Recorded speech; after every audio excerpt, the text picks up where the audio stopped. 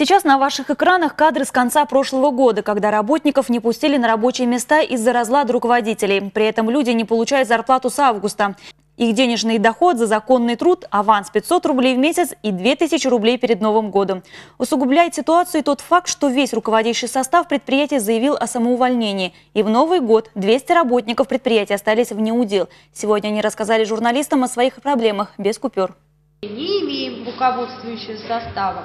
В связи с этим некому обратиться с вопросами о неполной выплате заработной платы за ноябрь месяц 2012 года, некому произвести начисление за декабрь 2012 года, хотя Семенов в присутствии представителей телевидения и на общем собрании трудового коллектива обещал выплатить заработную плату за ноябрь. Спустя два часа после этого интервью глава города Виктор Франц посадил за стол переговоров две враждующие стороны, потребовав очередной раз следовать букве закона и предоставить людям все социальные гарантии, предусмотренные Трудовым кодексом.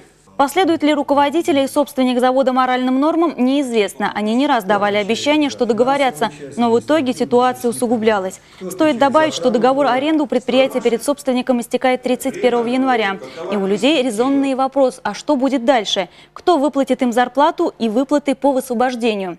Или история вновь повторится, когда предыдущий собственник оставил строймаш с многомиллионными долгами, рассчитываться по которым пришлось другим?